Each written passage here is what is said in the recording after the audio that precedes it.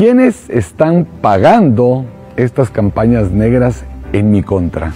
Porque no son contra las propuestas, son contra Roberto Arzú.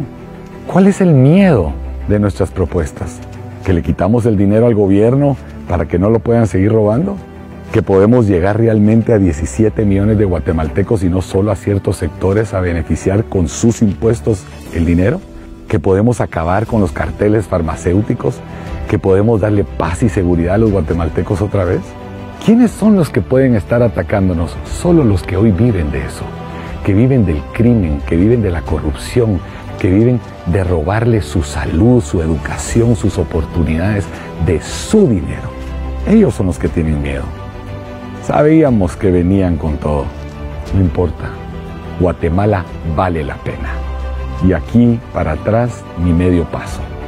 Nuestras propuestas van para adelante y las vamos a defender, las vamos a mejorar. Va a ser de Guatemala lo que debe de ser, un gran país, porque lo vale. Guatemala vale la pena. Sí se puede hacer grande a Guatemala.